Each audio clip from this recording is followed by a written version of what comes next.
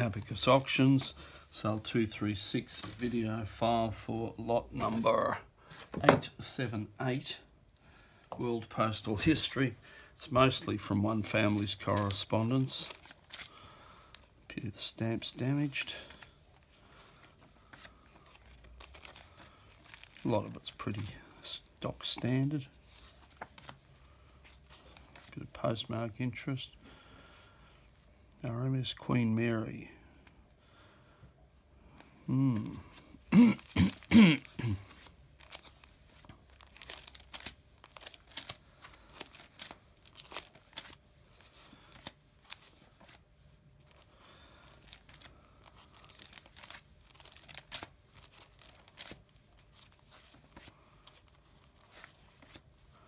Hungary to Australia. They're just fronts. Aden. Bombay RMS. Royal Mail Steamer, I imagine. Yes, it's a P&O envelope. British Guiana.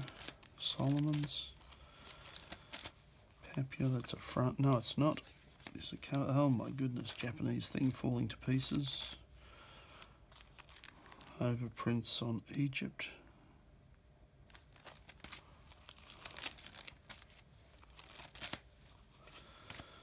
Two and six Seahorse. Unfortunately, its cover's badly damaged. No Post Town.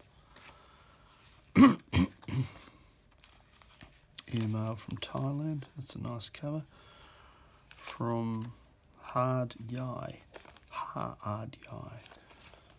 Although the registration label says Yala, so maybe that's what it is on the stamps. Yes, it is. Yala on the stamps. Nice thing.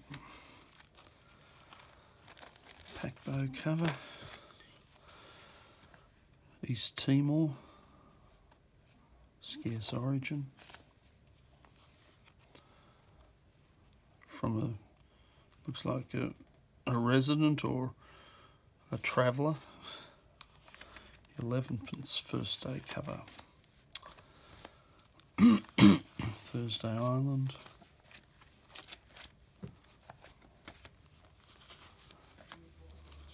Thursday Island Paquebot.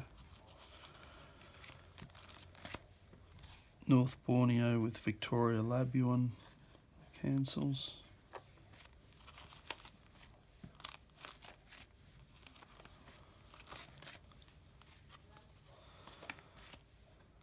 Unclaimed Cooktown.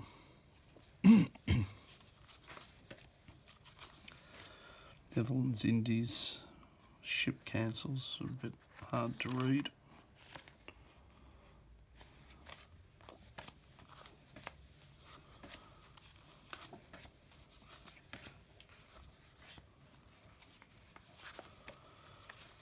So quite a diverse lot.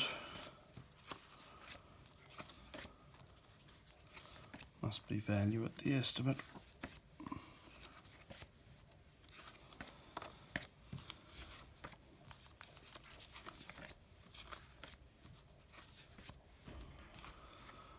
Nice mission Cinderella. You don't often see them tied to covers, even philatelic ones.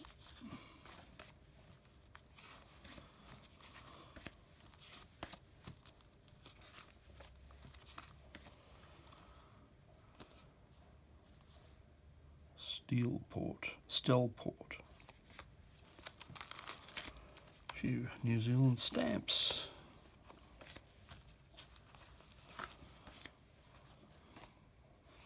Selfridges and all the stamps have perfins.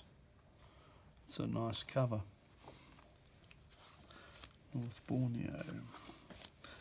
Straight line PO Wainunu. Looks commercial. Uh, brass Davutu, very late usage. And another one, pity they're spotty. And the commercial usage of the Papuan postal card. Pity, again, a pity about the stains and so on. Two shilling paying airmail registered. Might be the right rate, don't know. Very attractive American advertising cover. It is creased three times. Cancelled at Honolulu.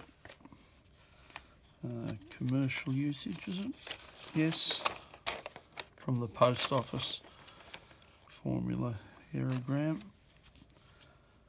Registered first day cover, Telegraph Office Geelong cancels. Uh, 1953, 27th of August. I don't know if that's first day, but uh, scarce philatelic franking, as is that. Austria, Flottenverein. Attractive postcard.